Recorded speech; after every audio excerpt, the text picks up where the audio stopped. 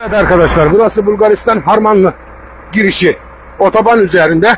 Buyurun Bulgar polisinin, Bulgar hükümetinin uygulaması.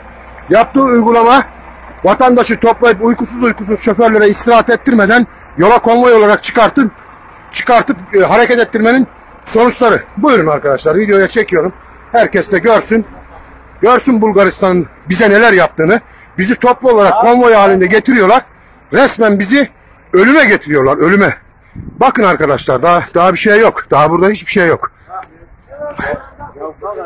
Bütün bütün ön tarafı da çekeyim. Ön tarafta görünsün. Görün arkadaşlar. Ne oldu? Bu kaza bizim gözümüzün önünde oldu. Sabah saat işte 07. Bakın arkadaşlar. Bu kaza benim gözümün önünde oldu. Buyurun. Buyurun. Şoför arkadaşın haline bakın kamyonda. Sıkışmış vaziyette. Can çekişiyor çıkmak için. Buyurun. Buyurun konvoyun sonuçları. Bizi konvoy halinde getirmenin sonuçları bunlar. Buyurun.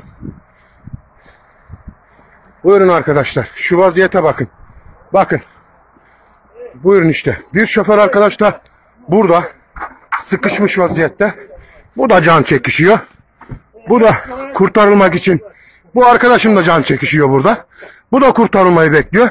Bulgar hükümetinin yaptıkları. Daha şu şurada bu arabanın ön tarafı hiç yok. Bak bu bu girdi içeri. Bunun şoförü muhtemelen yüzde yüz orada can can vermiştir.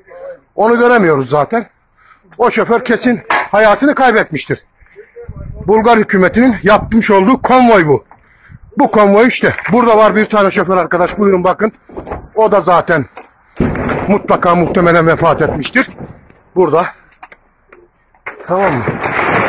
O da sıkışmış orada. Gördüğünüz gibi. Muhtemelen o da %90 vefat etmiştir.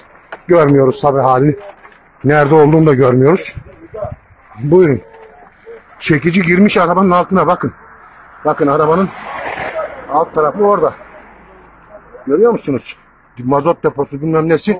Orada şoför. Nerede şoför? Ölmüştür abi. Buyurun. Evet. Burada yine böyle bir tane gene arabalar. Öbür tarafları gösteremiyorum. Çünkü öbür tarafa geçme şansım yok. Orada da öbür tarafa tarlalara aşağılara uçanların haddi hesabı yok. Evet. Bu videoyu da internette paylaşacağım. Tüm dünya bunu görecek. Bizim yapacağımız